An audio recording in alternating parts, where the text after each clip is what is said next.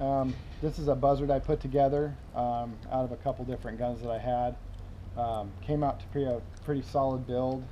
Kind of different because it has a 45 kicked out um, uh, changer in the front, which is actually super comfortable.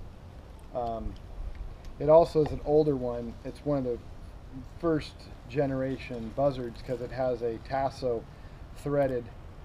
Um, well, it wouldn't be sec. It'd probably be second generation because the first ones were one piece. But um, it has the Taso threaded barrel, and and this barrel uh, was widgeted, I think, by Palmer's. But it makes it nice for different size paint. Um, but this is a cool little. Uh, it makes it a lot smaller too. It's just really small, but it's it's fun.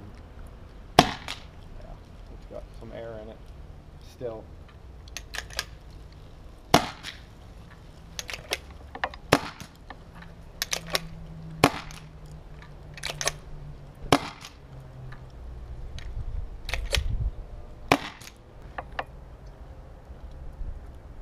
But very, very clean and just put together as well. So.